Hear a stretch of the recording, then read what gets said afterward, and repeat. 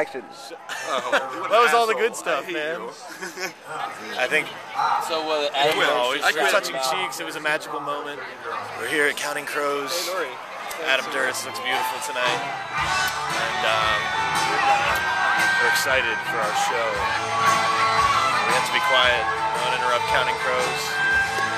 This light is still in my the show? I'm sure the audio is not going very well. No, I'm sure it's good. I'm sure it's it's, it's fabulous. Yes. Uh, oh, You still have that cilantro in your teeth? No, you're good. You're good. no. I didn't see any teeth there. So I like that Adam Duritz talks a lot in between sets because that's going to give us more opportunities to have this annoying light in our face. That's right.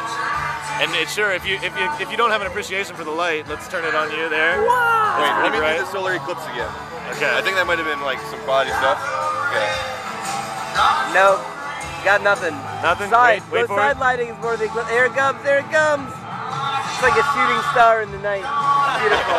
All right, so so I'm pretty sure I'm pretty sure everyone at the concert wants to kill us now because we have this light that's shining around. So we're gonna shut it off now. But uh, we'll see you guys on the 18th. Okay.